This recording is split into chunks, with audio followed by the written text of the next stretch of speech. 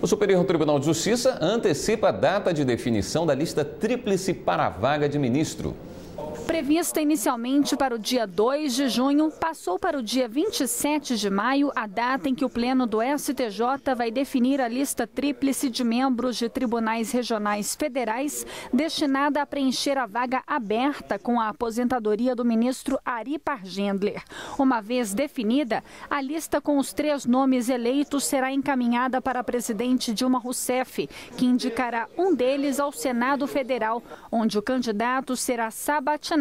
pela Comissão de Constituição, Justiça e Cidadania.